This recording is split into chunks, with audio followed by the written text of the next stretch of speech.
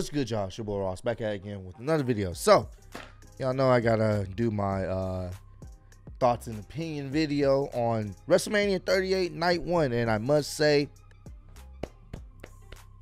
good job, Vince. Good job. Night 1, in my opinion, exceeded my expectation. And I think a lot of you guys that was in the chat with me and Trill Billy tonight, I think uh, it exceeded y'all expectations as well. I was not thinking night one was going to be this enjoyable. On paper, when you look at it, it's not, it wasn't supposed to be that enjoyable, in my opinion. I think there's probably maybe three matches that I was interested in. Obviously, I was interested if they were going to actually bring in Cody Rhodes, which they did to face Seth Rollins. Um, the Stone Cold, Kevin Owens. I'm thinking that's only just going to be like a segment, couple of uh, stunners here and there, and that's it. That hurt, turned into a whole match, and then uh, the Bianca Belair and um, Becky Lynch match. That was another match I was somewhat looking forward to, and everything else I, I really didn't care for. But all the matches, most of the matches, let me not say all, most of the matches exceeded my expectations. We're gonna get into it, man. We're gonna go through match by match, talk about what I liked and what I didn't like for the most part, and we're gonna get into this uh my thoughts and opinions video, man. So let's get right into the nitty gritty. Start with the SmackDown Tag Team Champion uh ship match. Usos versus Shinsuke Nakamura. I mean, and Rick Boogs. You knew who was gonna win here. It doesn't make sense for uh the Usos to be losing the title. It just doesn't make sense. They they're the time when they lose the title, that's when we know Roman will probably be losing the championship at some point. So they're keeping that momentum going as the longest reigning SmackDown Tag Team Champions of all time. Match was decent, decent way to start off the show. Uh, I was thinking the Rick uh, Rick Boogs injury was like a, a kayfabe injury, but I'm guessing apparently it it was uh uh legit a legitimate injury and he he will have to have surgery so wishing him a speedy recovery but uh, other than that, the match was solid. It was a nice little opener. Crowd, crowd was kind of getting into it, and uh, we were kind of getting into it as well. The right people won. It was one, two, three. Nice little opener match for night one. Uh, also, I want to say there, uh, the them announcing the Undertaker, uh, one them bringing out the class of 2022 WWE Hall of Fame class, and then the Undertaker being out there gave me goosebumps. It was beautiful to see. I still haven't checked out his speech. I won't be able to check it out, obviously, like doing a reaction, but I will check it out off camera. But uh, him just being out there one more time at WrestleMania gave me goosebumps. I just wanted to make that, but uh, put that out there before I uh, forgot about it. So we got Drew McIntyre versus Happy Corbin. Not gonna lie to you, did not really care for this match. I'm so glad that this feud is pretty much over.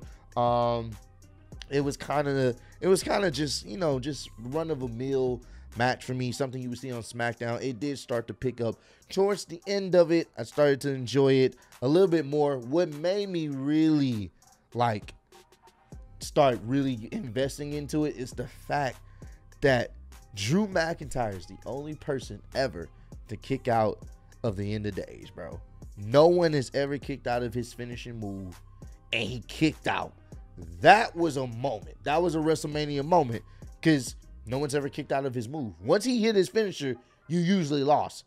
But Drew McIntyre kicked out. I was. That's when things really picked up. Other, you know, other than that, the match was kind of, you know, it was it was kind of lackluster. But once the, you know, they start getting towards the ending, and definitely him kicking out of Baron Corbin's End of Days, I thought that was uh fantastic. I enjoyed that, and it definitely brought up the match a little bit more. But right person won. Baron Corbin win. I'm uh, not Baron Corbin. Uh, Drew McIntyre won, and hopefully Drew can get into a better feud going forward. Hopefully they're done with this. Right person won there. Uh, Mysterios versus Miz and Logan Paul. Not gonna lie to you, did not care for this match, but they put on a decent show. Logan Paul was not bad. He uh, he he he wasn't bad out there. I will give him a respect. They put on a good, decent show. The crowd was invested. I started getting invested, especially when Logan Paul started mocking Eddie Guerrero, doing the three amigos and doing trying to do the frog splash off the top rope, doing the little chest chest shoulder movement. I was like, yo, he's a naturally good heel. And I called it. The Miz and Logan Paul was going to win. And guess what happened? They ended up winning. It was a solid match, nice back and forth, nice in-ring psychology. Um, uh, Dominic had a nice showing. Ray always has a nice showing. It was it was enjoyable. I really surprisingly enjoyed this match more than I expected. The Miz, Logan Paul winning. Of course, it left a sour taste in the mouth. But you know what? The Miz did us right and gave Logan Paul a skull crushing finale. The crowd went crazy. I went crazy. 10 out of 10 match just because of that. That was great. I love that. Don't know. It, it, looks like they may be setting up the Miz and Logan Paul at some point. So that's what it's looking like. You never know, but that was enjoyable though. I, I will say surprisingly enjoyable more than I expected. So enjoyed that match. Raw Women's Championship match: Becky Lynch versus Bianca Belair. Hands down, the best women's match of the night. Don't at me. Um, can we just say Becky Lynch having the little uh little Marvel graphic. Like if you guys watch the Marvel movies and at the beginning of the movies they show all the Marvel films or whatever in like this weird pattern. That's exactly what Becky Lynch's little intro had. And then she came out in a nice little Escalade, came out, walked to the ramp. Bianca Belair's entrance was so fucking cool. It's cool for a multitude of reasons. One, TSU, I grew up around TSU. TSU is a HBCU college. Uh, at one point, I was even considering being in the band. For those who don't know, I used to be in the band uh, and I used to play drums. I had a scholarship to be in the marching band at TSU at one point. I was thinking about going there. I've had family that worked up there. I've been up there plenty of times, been in their band hall. So to see TSU performing her theme song out there was such an awesome moment to see. That entrance was dope. I was like, they gotta give her the win. Match was pretty much, I wouldn't say it wasn't high intense, but it's like the pacing was good. I enjoyed the pacing of this match. The build was okay. It was cool. It wasn't the best. I expected a little bit better from the build, a little bit more, but I was enjoying it for what it was. And they they told a good story in this match. They they really they even hit you with a quick scare, thinking that um, um, Becky Lynch was gonna get a quick one like she did at SummerSlam against uh, Bianca Belair, and that was almost a, a close two fall. But they they really started pacing it out, man, and it, it was it was great, bro. This match was very enjoyable. And it's cool to say that Bianca Belair has had two back to back great matches at WrestleMania, and she's won twice at WrestleMania. She's undefeated at WrestleMania, winning twice, winning the SmackDown's championship last year and winning the Raw's championship this year. Fantastic. Fantastic. I enjoyed this match. Hey, I don't know if they're going to continue to feud. Maybe they do continue to feud with her. I'm willing to bet, but ultimately, I enjoyed this. This was this was great. This is definitely worth your time on watching. If you haven't seen it, best women's match of the night. Don't at me, and the right person won in Bianca Belair. Uh, now this one right here, Seth Rollins comes out. We're trying to figure out who's his mystery opponent. They, boy, they they they definitely teased it. I was praying that it wasn't gonna be Shane McMahon or God forbid Goldberg. And when you find oh, when you finally hear Cody's music that he had AEW, I was like, thank you. I was so glad that they got the rights to play the music and the crowd went insane. I went insane. Oh my God, bro. They actually pulled the trigger. We've been hearing the rumors. We just wasn't sure if they were going to do it. And they pulled the trigger. And boy, it was a momentous moment. And I enjoyed this match. Was it a slow burn? Yes, it was. The crowd kind of died down after initial, you know, him coming into the to the to the ring. But they started picking it up. They started picking it up, man. I like how Seth Rollins was talking. You, you know, welcome, welcome to the big leagues. You're in the big leagues now. This is my company. Like I was, I was loving that. It was, it was, it was really nice, and just to see him hitting his father's old school move, moves with the bionic elbow. It's just it was just a great, great build up. Like I said, it started off slow and it started building up even more and more to a nice crescendo. I love he kept hitting the crossroads. Oh man, he, he was hitting it over and over and over, bro. It was just it was it was nice, man. It was a hard hitting match uh, towards the end, uh, but bro, this was this was great.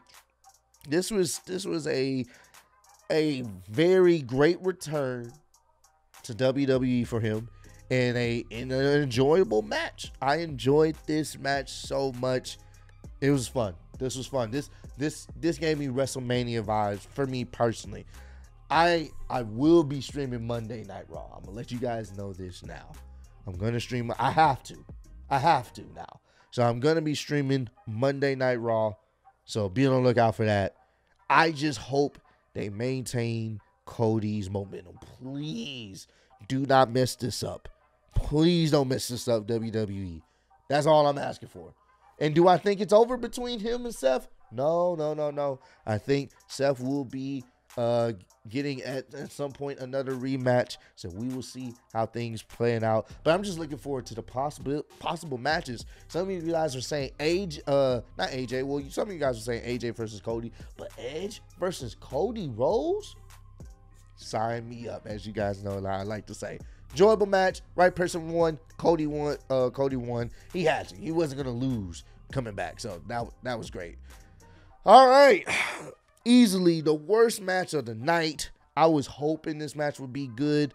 It uh, it did not live up to expectations at all. This this match was boring. SmackDown Women's Championship match: Charlotte Flair versus Ronda Rousey. This match was boring. Did it have potential life to be good? Yes, but it was boring. It was, and I think what made this match boring is not because of the in ring work. I think people just didn't care. Ultimately, people didn't care about this feud. Ronda has been cringe. Oh my God, she has been cringe on the mic. Her microphone skills is not good when it comes to pro wrestling. Just not, it hasn't been good. And I think people are just tired of Charlotte Flair. We know she's great in the ring, but people are just tired of the multiple championship reigns and stuff. Like, people are just tired of her. So, you got someone in Ronda that's coming off super cringe. You don't really care. You know, at one point she didn't even look like she wanted to be here. And then you have in other in the other corner, you also have Charlotte Flair, which people just want the championship to be off her by any means. And plus, people didn't forget. People didn't forget what Ronda had said about wrestling fans, which she has a point in what she was saying, but people didn't forget that too. So it was it was a lose lose. I think maybe if the buildup was a little bit better, maybe if she had someone to talk for her in Ronda, maybe this could have worked. But this was dead on arrival. Crowd would get hyped about a certain spot, and there were some cool spots in the match, and then the crowd would just kind of fall down. And then the ending was just atrocious. The typical referee gets hit, then Ronda applies an armbar. Charlotte starts tapping like a, a mad person, and then all of a sudden, when she's trying to get the ref up or whatnot, the ref comes back too. Ronda gets hit with a surprise boot to the face. For and then the ref is able to hit the one, two, three. You're telling me a boot to the face caused Ronda Rousey to lose. And what just annoyed me in the grand scheme of things, she came back, won the Royal Rumble, to only lose to a boot to the face. In my mind, I'm like, there's no way, and I've been saying this, there's no way they brought her back to lose. Well, they brought her back to lose. Granted, this is not over, y'all. And that's what worked. This that's what worries me more. This feud is not over. Best believe Ronda Rousey will get her rematch, and it's gonna be a no disqualification match. And I think probably then she'll win it. I'm guessing. Who fucking knows? I just want this feud to be over. I legitimately want this feud to be over. I, I do not care. I don't care. I, I just don't care. This match was the worst match of night one. I think a lot of us can agree. You guys were destroying this match in the chat saying this was boring, and it was. a few few little good spots, but other than that, throw this throw this match away. And of course, the main event, and this is why this was the main event. I am so glad Charlotte Flair and Ronda was not the main event because that would have been awful. Stone Cold Steve Austin, Kevin Owens for the Kevin Owens show. Kevin Owens comes out, a lot of booze, talking trash on Texas. You hear that glass break, and I just I went back to the attitude era. At this point, there is nothing that can ruin this segment for me. Stone Cold is Stone Cold. He has not wrestled in over 19 years. And I've been on the record saying I, I don't think I would want to see Stone Cold wrestle. I've said that a few times, and some of you guys are like, oh, why could you say that? I think I've said that because of the people that I've grew up watching and then seeing them wrestle as they gotten older, past their primes, and the matches that we've gotten. It it, it, it it's kind of scarred me, kind of traumatized me because I don't like to see my favorite wrestlers I grew up watching look old and look like they don't belong out there. We've seen it before. We've seen it in The Undertaker. I think he should have stopped uh, a while ago. Honestly, he should have, but I know he wanted to have better matches, but his body couldn't or his opponents couldn't. We've seen it with uh, Goldberg too. When Goldberg came back initially, he looked pretty good, but then after a while, he started having longer matches, and you can tell he can't go as go like he used to. You know what I'm saying? We've seen that in some of our favorite wrestlers, where they sometimes they wrestle a little bit longer than they should. You know what I'm saying? It's only a handful that can still do it, where it's, it's like they're not out there too much, and they're not doing too much, but they still somewhat can go. But I will say this: I can stand corrected. I am glad I got to see Stone Cold Steve Austin wrestle one more time. Was it a traditional wrestling match? No, I don't. I don't think he would have signed up for that. That's a little bit of different type of conditioning. It was more of what Stone Cold is used to, just an all-out brawl, no holds barred match. I'm okay with that. And like I said, I can admit when I was wrong, and I was wrong. It was. I was glad to see him in that environment, and he looked good out there as well. It was fun. Oh my God, this segment was fun. Him taking a bump onto a suplex onto the steep onto the uh, concrete out by the crowd. Oh my God. Just fantastic, bro. Him coming out there, the ATV, they're brawling up the ramp, they're brawling by the stage area, they're brawling by the announce area. He's taking beer to recharge himself. Oh, him getting stunned by Kevin Owens to a two count almost made my heart fall out of my chest. Him hitting the stunner on Kevin Owens him hitting the stunner on him again after the match was over. Him hitting the stunner on uh, Byron Saxton. Byron Saxton, you sold it like a champion. Corey Graves on commentary over there losing his him losing himself at seeing Byron Saxton getting stunned. This was just great, bro. This was just this whole this was attitude era at his max. Attitude era personified in Stone Cold Steve Austin. Can you say, oh, we're biased? This is a nostalgia act. You goddamn right. And I will go on record and say I stand corrected. I I said initially I would not want to see Stone Cold wrestling anymore. You know what? He made me eat my words. I enjoyed that. I enjoyed seeing him out there. It wasn't a traditional wrestling match, but I can say I'm glad I was at least able to see it one more time. If he don't wrestle no more, ever again, I'm okay with it. But this was great. This was this is how you end off WrestleMania. WrestleMania ended off with Stone Cold Steve Austin drinking a whole bunch of beer. And I loved it. Night one, you did your thing. Did your thing, Vince.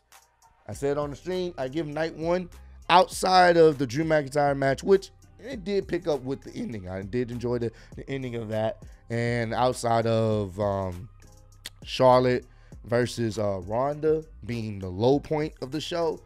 Everything else was surprisingly better than expected. And I gave this show night one. an 8 out of 10 on paper. This should have been maybe 6 out of 10 at best. 7 if you're lucky. This was an 8 out of 10 show. Night one showed out. Ended off great. It started off good and it ended off fantastic. And I think it's one of those situations where on paper it It did not look like it was going to be good. The go home shows did not live up to hype, and they exceeded our expectations. Well, at least they did with mine. Night one, 8 out of 10 for me. Comment down below. Let me know. What do y'all give night 10 on a scale of 1 to 10? I'm giving it an 8 out of 10. Uh, this was this was enjoyable. Also, let me know what was your favorite match of the night. My favorite match, I still got to give it to Cody and and Seth Rollins. Enjoyed that match for what it was, and I'm looking forward to the story that they plan on telling with these two because I definitely don't think it's, it's over. And of course, Steve Austin and Kevin Owens. That's a close number two, only because it's it's Stone Cold and I had fun with that match. That wasn't that was that was just a uh, a nostalgia ride that I was enjoying every bit of it. It's nothing tactical about it. You're just there to see Stone Cold whoop some ass, man. So favorite match, got to give it to uh, Cody and Seth, and then actually second favorite right under it, Stone Cold, Kevin Owens. So fun. Uh, so let me know your favorite match of the night. Let me know also what you rate the show on a scale of 1 to 10. And do you guys think night two can live up to this? Night two, they have a tough one. Night one, they showed out. I don't know if night two can live up to it. Let's see if they will. I'm willing to give them a chance. I am. There's some good matches on that card that I'm looking forward to. So I hope they are able to live up to the hype because they got they got their cut their work cut out for them. But appreciate all the love and support. Road to 80k. Appreciate y'all kicking with me. See y'all on the next one. Peace.